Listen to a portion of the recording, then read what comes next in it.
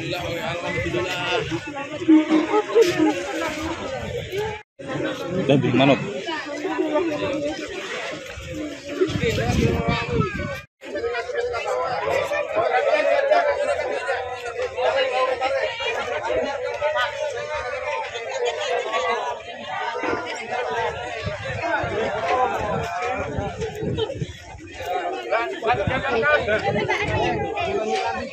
Jangan Mana?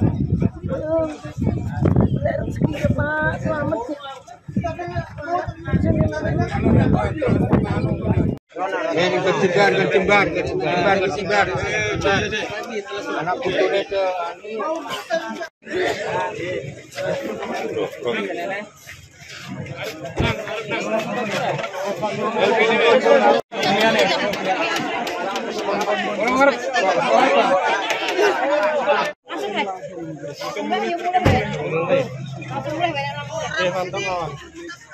Se se se. Kuwi mung Sampai jumpa di video cuman.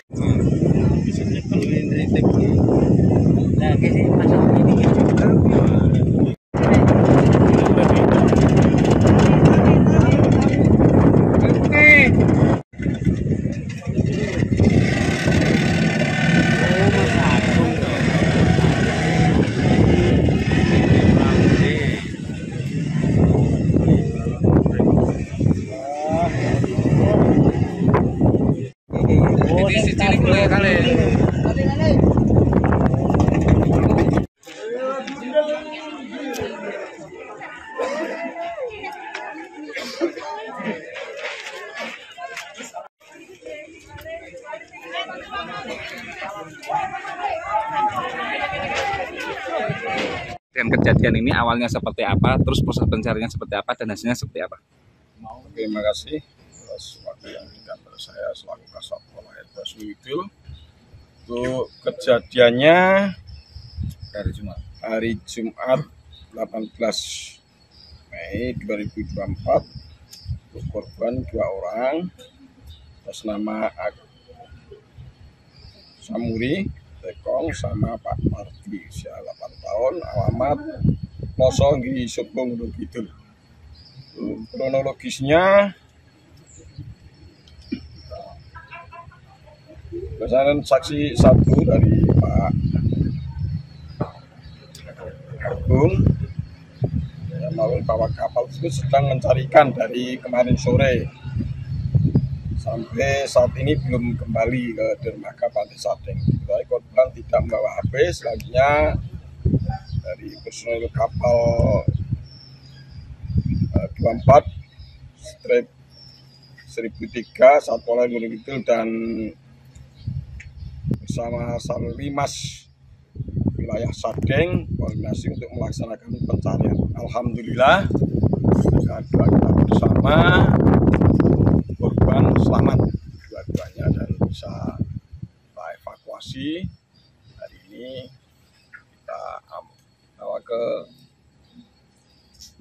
UPT Puskesmas terdekat untuk penanganan keselamatan lebih lanjut yang berhak penanganan.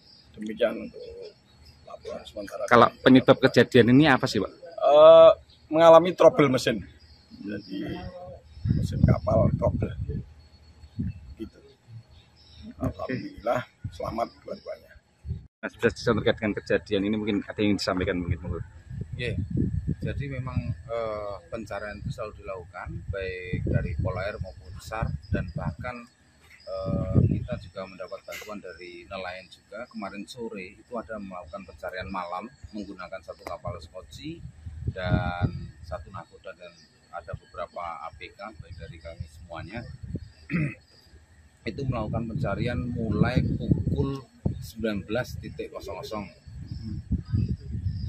lanjut pencarian berjalan semalam dan alhamdulillah tadi pada pukul 7.44 untuk tim pencarian melihat korban Eh, melihat perahu terapung dan akhirnya didekati.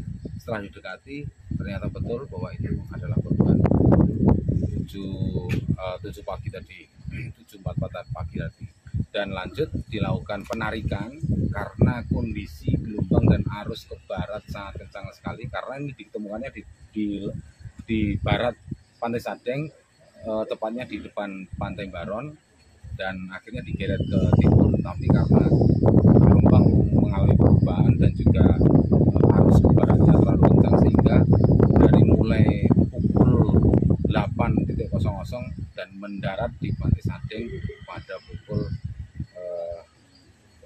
12.45 tadi. Untuk lokasi korban ditemukan itu radius berapa kilo Pak dari lokasi pantai ini? Berkisar kalau dari daratan berkisar eh,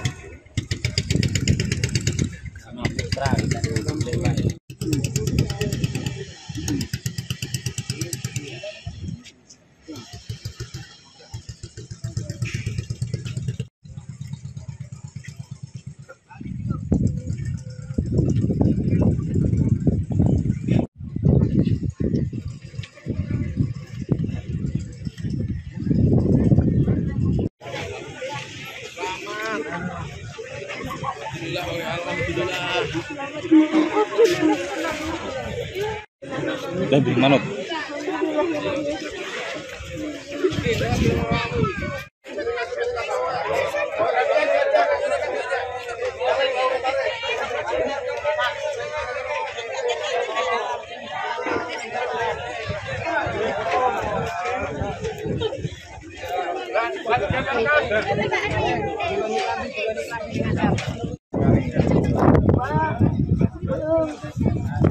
kecimbar, kecimbar, kecimbar, kecimbar.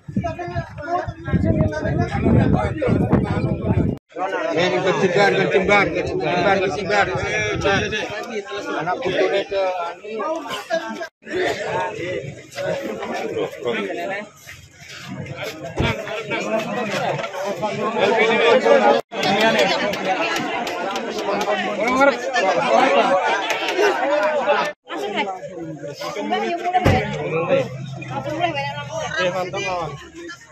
Se, se, se.